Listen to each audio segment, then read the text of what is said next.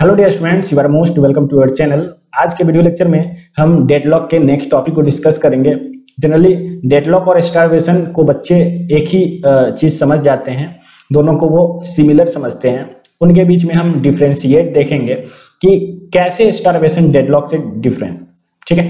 तो चलिए देखते हैं कुछ important points which can differentiate deadlock and starvation in best manner तो सबसे पहले डेडलॉक हमने आपको क्या बताया कि डेडलॉक एक ऐसा सिचुएशन है, जबकि दो प्रोसेसेस के बीच में रिसोर्स को लेकर के एक वेट ब्लॉक का सिचुएशन जनरेट होता है। उस सिचुएशन को हम डेडलॉक कहते हैं। हमने यही जाना है। तो डेडलॉक क्या है? Is a situation occur when one of the process got blocked जिसमें कोई एक प्रोसेस या सभी प्रोसेसेस ब्लॉक हो जाते हैं, उस कंडीशन को हम लोग डेडलॉक कहते हैं।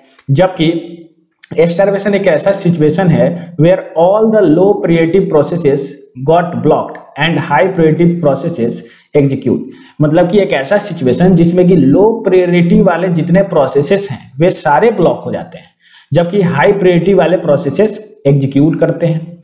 तो यहाँ पर डिफरेंस का जो पैमाना है, वो क्या है?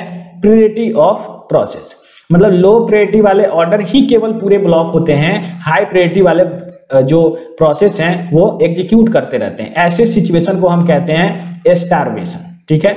जबकि डेडलॉक क्या है? डेडलॉक मतलब कोई भी प्रोसेस चाहे वो हाई प्रियोरिटी वाला हो, चाहे वो लो प्रियोरिटी वाला हो रिसोर्स के वेट के कारण ब्लॉक हो जाता है और वैसे सिचुएशन को हम डेडलॉक कहते हैं। फ़र्स्ट पॉइंट इज़ दिस अब डेडलॉक जो है एक इनफाइनाइट प्रोसेस है।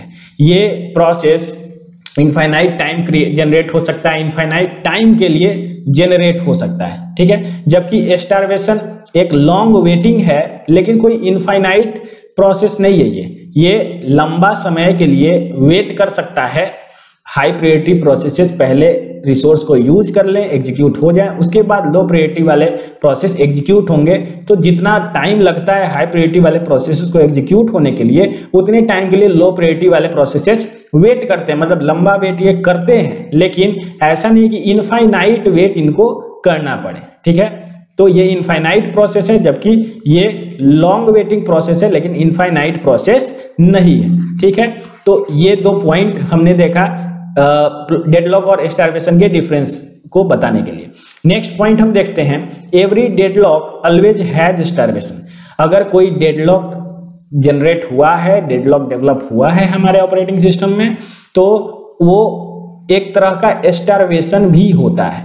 That is a type of starvation लेकिन हम स्टारवेशन को डेडलॉक नहीं कह सकते हैं।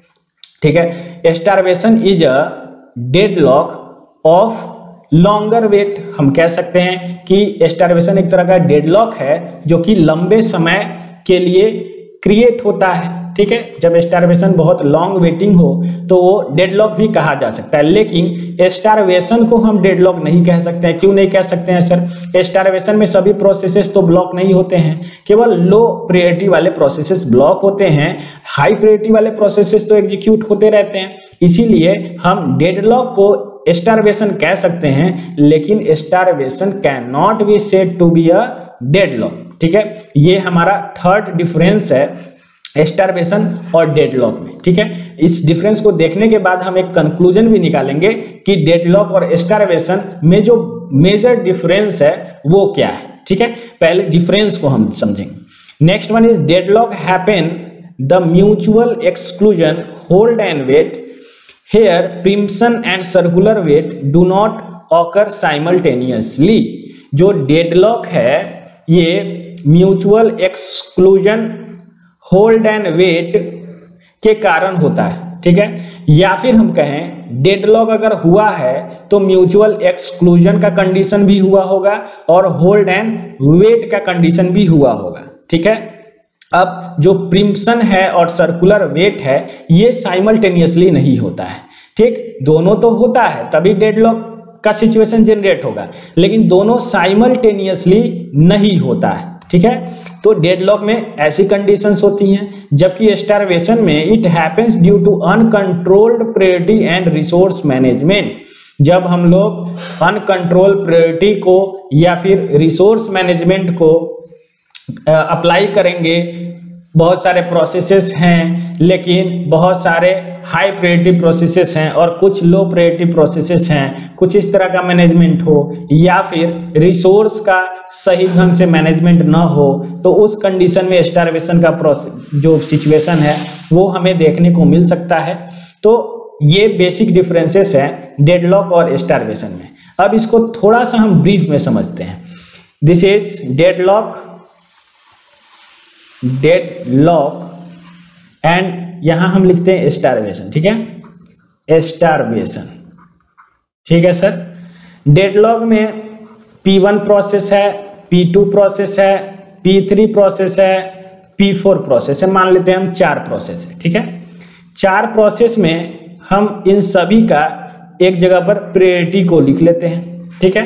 प्रेरिटी में इसका प्रेरिटी वन है, इसका टू है, इसका थ्री है और इसका फोर है, ठीक? और स्टारवेशन के लिए भी सेम प्रियरिटी है। स्टारवेशन के लिए भी सेम प्रियरिटी है। यहाँ पर हम प्रोसेस और प्रियोरिटी को लिख देते हैं। These are process and these are priority of process okay अब स्टारवेशन का एक सिचुएशन हम देखेंगे और एक सिचुएशन देखेंगे डेडलॉक का, ठीक है? डेडलॉक का सिचुएशन पहले हम दे, देख लेते हैं। डेडलॉक के सिचुएशन में क्या होगा? तो सभी प्रोसेस P1, P2, P3 और P4 सभी प्रोसेस क्या होगा? रिसोर्स को यूज़ कर रहा होगा ठीक है? रिसोर्स सबको असाइंड होगा सभी को रिसोर्स असाइंड होगा जैसा कि हमने बताया कि सभी जो हैं होल्ड एंड वेट के कंडीशन में होते हैं। मतलब किसी रिसोर्स को होल्ड किए हुए रहते हैं और किसी दूसरे रिसोर्स के वेट में रहते हैं। ठीक है? तो इन सबको तो रिसोर्स असाइंड होगा। क्लियर है? लेकिन ये सारे किसी दूसरे रिसोर्स के लिए वेट भी कर रहे होंगे। किसी दूसरे रिसोर्स के लिए ये सारे वेट भी कर रहे होंगे। तो यहाँ पर डेड लॉक का कंडीशन जनरेट होगा। इतना क्लियर है सर ठीक है? यहाँ पे डेडलॉक का कंडीशन जनरेट हो गया। अब स्टारवेशन में क्या होगा? तो स्टारवेशन में सभी प्रोसेसेस वेट ब्लॉक में नहीं होते। यहाँ पर P1, P2, P4 किसी रिसोर्स में एग्जीक्यूट तो हो रहे हैं। किसी रिसोर्स में एग्जीक्यूट हो रहे हैं लेकिन किसी दूसरे रिसोर्स के लिए वेट कर रहे हैं। सभी प्रोसेसेस वेट कर रहे हैं। जबकि स्टारवेशन में जितने भी प्रोसेसेस हैं उसमें से जो लो प्रियोरिटी ऑर्डर वाले प्रोसेस है वो वेट करते रहते हैं। P1, P2, P1 का प्रियरिटी वन है पी टू का प्रियरिटी टू है और पी थ्री का प्रायोरिटी थ्री और पी फोर का प्रायोरिटी चार है।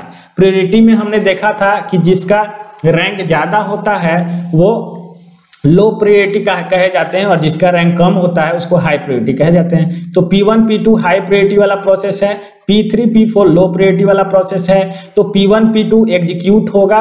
जबकि P3 और P4 वेट ब्लॉक में होगा वेट करता रहेगा, ठीक? इसलिए ये वेट ब्लॉक में लॉन्गर टाइम के लिए वेट कर रहा होगा। तो ये जो कंडीशन जनरेट हुआ, ये स्टारवेशन कहलाएगा, जबकि यहाँ पर जब पूरे प्रोसेसेस किसी रिसोर्स में एग्जीक्यूट होने के लिए वेट कर रहे हों तो वो कंडीशन डेड लॉक कहलाएगा। ठीक है? आई होप आप लोगों को क्लियर हो गया होगा। तो ये होता है मेनली क्या? स्टारवेशन एंड डेड लॉक आपको ये वीडियो कैसा लगा मैं कमेंट में ज़रूर बताएँ। अगर वीडियो अच्छा लगा वीडियो को लाइक कर सकते हैं शेयर कर सकते हैं अपने दोस्तों में। और अगर आप चैनल पर नए हैं, पहली बार वीडियो देख रहे हैं, मेरा लेक्चर पहली बार आपको मिला है तो आप चैनल को सब्सक्राइब कर सकते हैं। थैंक्स